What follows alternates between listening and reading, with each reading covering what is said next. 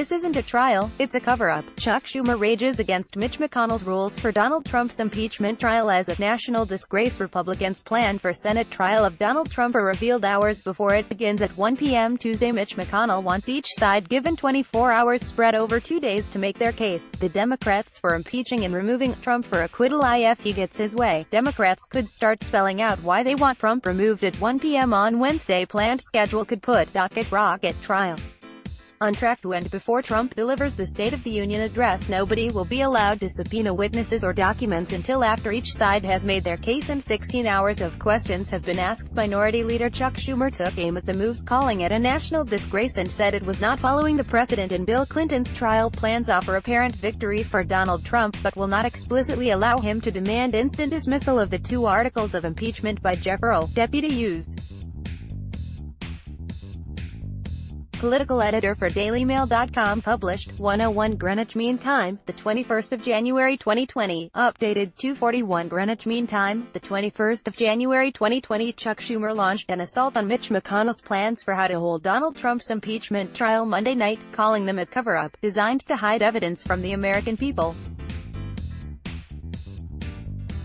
The Democratic minority leader assailed McConnell's bid to hold a fast-track trial, and almost entirely rule out the chance of getting witnesses and documents as a national disgrace, speaking outside New York's Penn Station before he boarded a train to Washington, D.C. He said McConnell had torn up a promise to follow the precedents set by Bill Clinton's trial. He accused McConnell of trying to exclude existing evidence gathered by the House and said, he doesn't want to hear any of the evidence and he doesn't want to hear any new evidence. That's a cover-up, not a trial. Schumer said McConnell had torn up a promise to follow the precedent of the Clinton trial rules, which allowed 24 hours over four days for each side and also explicitly included all previous evidence gathered by the House, and therefore by extension, Ken Starr. Instead, Schumer said, McConnell kept his planned rules secret until the last minute of a public holiday. Leader McConnell is going along with President Trump's cover-up hook, line and sinker, the Democrat said. When you look at his resolution, it's no wonder he delayed it until the last minute. He didn't want people to study it or know about it. The condemnation sets the stage for a bitter spectacle in the Senate at 1 p.m. on Tuesday when the trial is supposed to resume with senators debating the rules. Anger, Chuck Schumer called Mitch McConnell's plans for Donald Trump's impeachment trial a national disgrace as he headed from New York to Washington, D.C. Master of the Senate, Mitch McConnell's plan was revealed Monday evening, with just hours to go until senators get to decide on the rules for the trial of Donald Trump under the scheme outlined by Republicans later Monday afternoon. Democrats and Donald Trump will each have just 24 hours over two days to make their cases at his impeachment trial. Each side will face presenting their case late into the night as the Republican majority leader plans to slam the case through the Senate, a leaked resolution revealed, but he will allow the possibility of the trial calling witnesses or documents, but not until the third stage stage of the trial, after Democratic prosecutors and Trump's defense have made their case and senators have had 16 hours to ask questions in writing through the Chief Justice John Roberts. The plan sets up a fast-moving trial which could sit late into the night as each side tries to get through their 24 hours but the rules remain a plan until they are confirmed, or amended, by senators which will happen entirely behind closed doors when they go into a closed session, expected late Tuesday afternoon. The spectacle of cameras being switched off and reporters being told to leave is likely to fuel Democratic attacks of cover-up, which is now the party's main attack on the trial. As drawn up by McConnell, they represent a win for Trump, who wants the trial over with rapidly, but they are a tightrope for the Republican majority leader who has at least three moderates already voicing reservations about a lack of witnesses, the moderates, Susan Collins of Maine, Mitt Romney of Utah, and Lisa Murkowski of Alaska are likely to watch closely the latest poll which suggests overwhelming public support for witnesses at the trial. Donald Trump's lawyers in a new brief call the impeachment case against him flimsy. The president himself left the White House to fly to the World Economic Forum in Davos, Switzerland, where he will be for the start of his trial. He said nothing as he left the White House. The rules do not offer an explicit chance for Trump's lawyers to ask to dismiss the articles against him before Democrats make their case, but do allow them to do so on their own initiative as early as Wednesday morning. Republican senators have already said they would mostly vote against instant dismissal, and its absence from the four-page rules package suggests, it is unlikely Trump would instruct his lawyers, led by, by Pat Cipollone, the White House counsel, and his private attorney Jay Sekulow, to try, under the terms being proposed by McConnell, who controls 53 of the 100 Senate seats and needs 51 of them to get his rules approved. The timetable for the first day of the trial would be Tuesday 1 p.m., trial begins with swearing in of Jim Inhofe, the Oklahoma Republican who missed being sworn by Chief Justice John Roberts last week. Tuesday afternoon, McConnell presents his plan, formally called the motion, on how the trial should proceed and has two hours to do so. 3.30 p.m. or so, Chuck Schumer, the minority leader gets to present his plan and also has two hours to lay it out. By 6 p.m., the Senate will go into closed session, meaning cameras are switched off, reporters are thrown out, and senators debate the proposal unwatched and unrecorded. The rules for that debate are unknown. Tuesday evening, the Senate should return to an open session to vote on the final rules. If that happens and senators agree with McConnell's plan, what happens next would be Wednesday 9 a.m., deadline for Trump's team to ask for an instant dismissal of the articles of impeachment, a possibility which Republicans have said would not pass the Senate. House Democrats can make their own motions about the trial but cannot demand witnesses be subpoenaed. 11 a.m. Each side has until then to file their response to motions put forward 1 p.m. The trial begins in earnest. If there are no motions to deal with the Democrats start making their case and assuming that happens. Friday, 1 p.m., Democrats' case has to conclude by now and have taken up no more than 24 hours. There are no restrictions on staying up late. Friday, 1 p.m., Trump side begin making their case. Monday, January 27, 1 p.m. Trump's defense has to conclude by now and have taken up no more than 24 hours. There are no restrictions on staying up late. Monday afternoon, senators now have 16 hours to ask written questions. Roberts decides which to answer and in what order and reads them out to the Democrats and Trump's attorneys. After that each side has four hours to make the case for any witnesses they want to subpoena. Each witness will be voted on individually. That is where clarity on the timetable ends. If there are no witnesses, the Senate could move to a rapid vote. But if there are they would first be deposed, raising massive questions over how long that could take and whether any of their evidence would ever be in public. The timetable appears intended to slam through a trial before Trump is due to deliver the State of the Union address on Tuesday the 4th of February. Schumer immediately blasted the McConnell proposal as a national disgrace. After reading his resolution, it's clear Senator McConnell is hell-bent on making it much more difficult to get witnesses and documents and intent on rushing the trial through, Schumer said. The contours of the trial's arguments are already clear with less than 24 hours to go until it starts in earnest.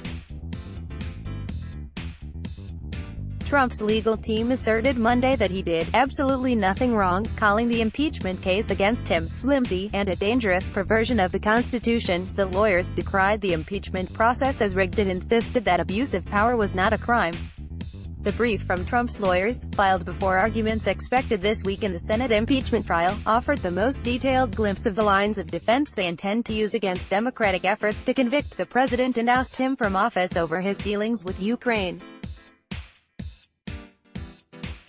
It is meant as a counter to a filing two days ago from House Democrats that summarized weeks of testimony from more than a dozen witnesses in laying out the impeachment case. American flags flow in wind around the Washington Monument with the U.S. Capitol in the background at sunrise on Monday, Jan. 20, 2020, in Washington. The impeachment trial of President Donald Trump will resume in the U.S. Senate on Jan. 21 House Intelligence Committee Chairman Adam Schiff, D. Califf, Front Left, and House Judiciary Committee Chairman, Rep. Jerrold Nadler, DNY, and other House impeachment managers walked to the Senate chamber on Capitol Hill in Washington, Thursday, Jan.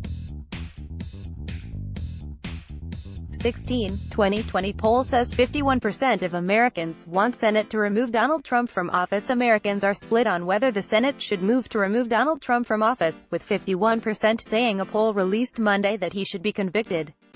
In the CNN SSRS poll, 45% of Americans said the Senate should not vote to convict and remove the president and 4% of respondents said they had no opinion on the matter. But 89% of Democrats believe he should be convicted and removed from office while only 8% of Republicans agree. Independent voters are split. The poll comes the day before the Senate is set to begin the proceedings in the impeachment trial. It also shows a slight shift from the same poll in December, which had 47% of Americans said Trump should not be removed compared to the 45% who want to see him ousted from the White House. Of the 1,156 respondents, 58% feel Trump did abuse his power of the presidency and 57% say it's true he obstructed the House from being able to properly investigate him. The 110-page filing from the White House shifted the tone toward a more legal response. It still hinged on Trump's assertion he did nothing wrong and did not commit a crime, even though impeachment does not depend on a material violation of law but rather on the more vague definition of other high crimes and misdemeanors as established in the Constitution. It is a constitutional travesty, the lawyers wrote. The document says the two articles of impeachment brought against the president, abuse of power and obstruction of Congress, don't amount to impeachment offenses. It asserts that the impeachment inquiry, centered on Trump's request that Ukraine's president open an investigation into Democratic rival Joe Biden, was never about finding the truth. Instead, House Democrats were determined from the outset to find some way anyway, to corrupt the extraordinary power of impeachment for use as a political tool to overturn the result of the 2016 election and to interfere in the 2020 election, Trump's legal team wrote. All that is a dangerous perversion of the Constitution that the Senate should swiftly and roundly condemn. The Senate should speedily reject these deficient articles of impeachment and acquit the President, according to a summary. Trump's team continues to attack the abuse of power articles voted through the House, which lawyer Alan Dershowitz has argued does not constitute a crime. House Democrats' newly invented abuse of power theory collapses at the threshold because it fails to allege any violation of law whatsoever, they write. The prosecution team of House managers was expected to spend another day on Capitol Hill preparing for the trial, which will be under heavy security. Before the filing, House prosecutors arrived on Capitol Hill to tour the Senate chamber. Earlier Monday, Trump claimed Democrats didn't want fired National Security Advisor John Bolton to testify. Counselor to the president Kellyanne Conway told Fox News the president may exert executive privilege to prevent Bolton from testifying before the Senate. House should have called John Bolton if they were so anxious to hear from them, she said, very little, although the president may exert executive privilege. The impeachment case accuses Trump of abusing power by withholding military aid from Ukraine at the same time that the president was seeking an investigation into Biden, and of obstructing Congress by instructing aides to not participate. But Trump's team contended Monday that even if Trump were to have abused his power in withholding the Ukraine military assistance, it would not be impeachable, because it did not violate a specific criminal statute. Opening arguments are expected within days following a debate Tuesday over rules, including about whether witnesses are to be called in the trial. Trump signaled his opposition to witnesses, tweeting Monday, they didn't want John Bolton and others in the House. They were in too much of a rush. Now they want them all in the Senate. Not supposed to be that way. That's a reference to former National Security Advisor John Bolton, who was not subpoenaed by the House in its impeachment inquiry but has said he is willing to testify in the Senate if he is subpoenaed. The White House brief argues that the articles of impeachment passed by the House are structurally deficient because they charge multiple acts, creating a menu of options as possible grounds for conviction. The Trump team claims that the Constitution requires that senators agree on the specific basis for conviction, and that there is no way to ensure that the senators agree on which acts are worthy of removal. The Trump lawyers accused Democrats of diluting the standards for impeachment, an argument that echoed the case made Sunday by one of Trump's attorneys, Alan Dershowitz, who contended in talk shows that impeachable offenses must be criminal-like conduct. That assertion has been rejected by scholars, and Rep. Adam Schiff, the Democratic chairman of the House Intelligence Committee, called it an absurdist position. Earlier Monday, President Trump took up his own impeachment defense, complaining that he got zero fairness during a House inquiry and claiming Democrats didn't want security advisor John Bolton as a witness. Trump made his case Monday on the eve of the debut of arguments in his Senate impeachment trial, amid a still unresolved debate and speculation about whether a rump group of Republicans will join Democrats to push for witnesses. Bolton, Trump's fired national security advisor, has become a key figure, following testimony by other witnesses that he called the Ukraine policy being carried out by Rudy Giuliani, the White House acting chief of staff, and a U.S. ambassador a drug deal, Trump complained he got zero fairness in the House inquiry. Trump tweeted that Democrats didn't want John Bolton to appear, although they sought his testimony, they didn't want John Bolton and others in the House, Trump said. Of the Democratic impeachment inquiry and his fired national security advisor read the articles of impeachment against Donald Trump in 1,414 words. The articles of impeachment passed by the House of Representatives lay out two charges against President Donald Trump. Article 1, Abuse of power Using the powers of his high office, President Trump solicited the interference of a foreign government, Ukraine, in the 2020 United States presidential election. He did so through a scheme or course of conduct that included soliciting the government of Ukraine to publicly announce investigations that would benefit his re-election, harm the election prospects of a political opponent, and influence the 2020 United States presidential election to his advantage. President Trump also sought to pressure the government of Ukraine to take these steps by conditioning official United States government acts of significant value to Ukraine on its public announcement of the investigations. President Trump engaged in this scheme or course of conduct for corrupt purposes in pursuit of personal political benefit. In so doing, President Trump used the powers of the presidency in a manner that compromised the national security of the United States and undermined the integrity of the United States democratic process. Article 2, Obstruction of Congress As part of this impeachment inquiry, the committees undertaking the investigation served subpoenas seeking documents and testimony deemed vital to the inquiry from various executive branch agencies and offices, and current and former officials. In response, without lawful cause or excuse, President Trump directed executive branch agencies, offices, and officials not to comply with those subpoenas. President Trump thus interposed the powers of the presidency against the lawful subpoenas of the House of Representatives, and assumed to himself functions and judgments necessary to the exercise of the sole power of impeachment vested by the Constitution in the House of Representatives.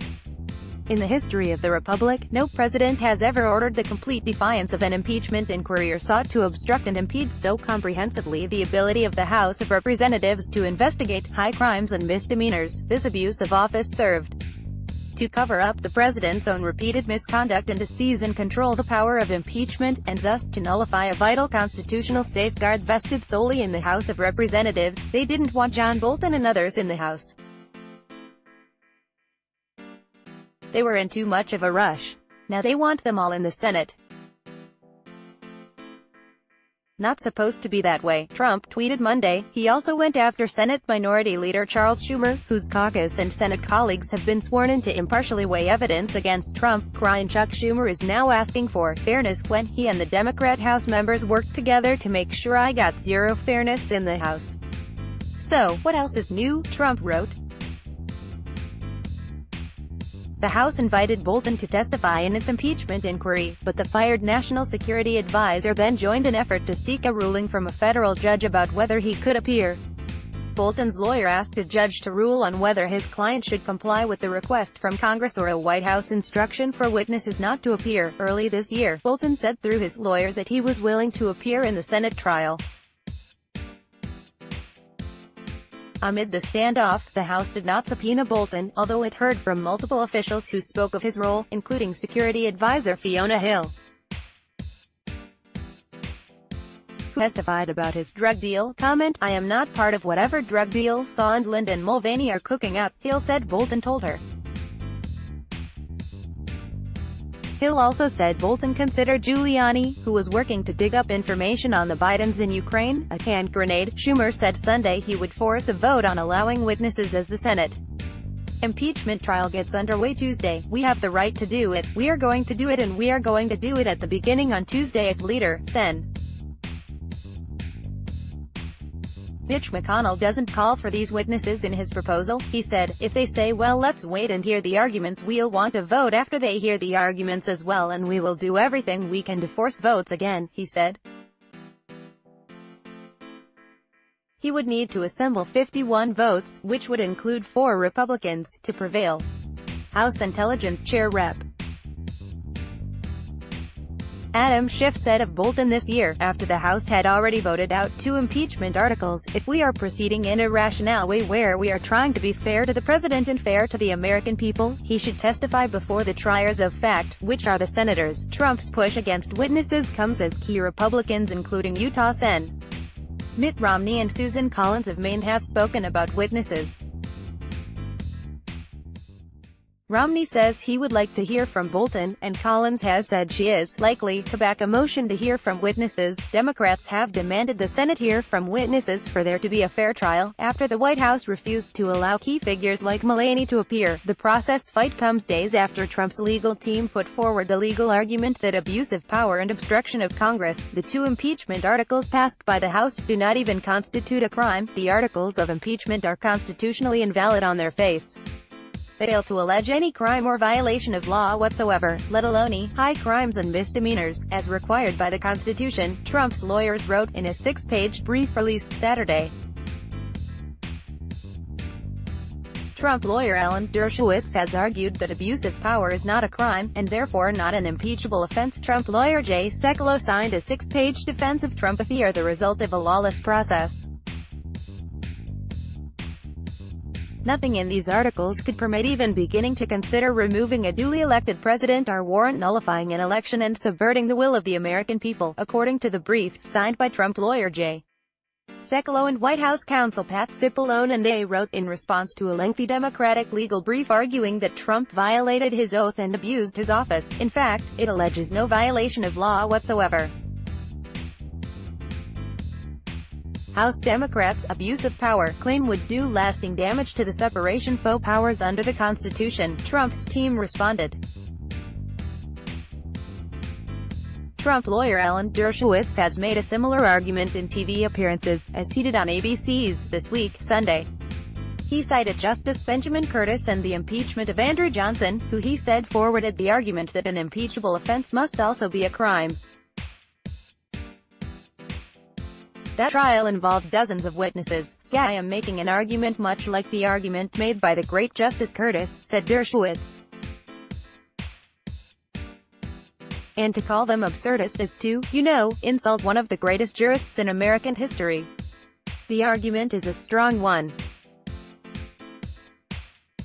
The Senate should hear it. The House in Monday filed its own reply to the arguments put forth by Trump's team in response to the impeachment articles. President Trump maintains that the Senate cannot remove him even if the House proves every claim in the articles of impeachment. That is a chilling assertion. It is also dead wrong. The framers deliberately drafted a constitution that allows the Senate to remove presidents who, like President Trump, abuse their power to cheat in elections, betray our national security, and ignore checks and balances, House impeachment managers wrote in a document that bears all of their names. Despite President Trump's stonewalling of the impeachment inquiry, the House amassed overwhelming evidence of his guilt, they added. It did so through fair procedures rooted firmly in the Constitution and precedent. It extended President Trump protections equal to, or greater than, those afforded to presidents in prior impeachment inquiries. To prevent President Trump's obstruction from delaying justice until after the very election he seeks to corrupt, the House moved to decisively to adopt the two articles of impeachment. Still, new evidence continues to emerge, all of which confirms these charges. They added, Americans are split on whether the Senate should vote to convict and remove Donald Trump from office 51% say he should be removed, while 45% say he should not. The Trump Dream Team, whose defending president and Senate-led counsel, Pat Cipollone, White House counsel millionaire conservative Catholic father of 10 who has little courtroom experience. Strong, silent type who has earned praise from Trump's camp for resisting Congress's investigations of the Ukraine scandal.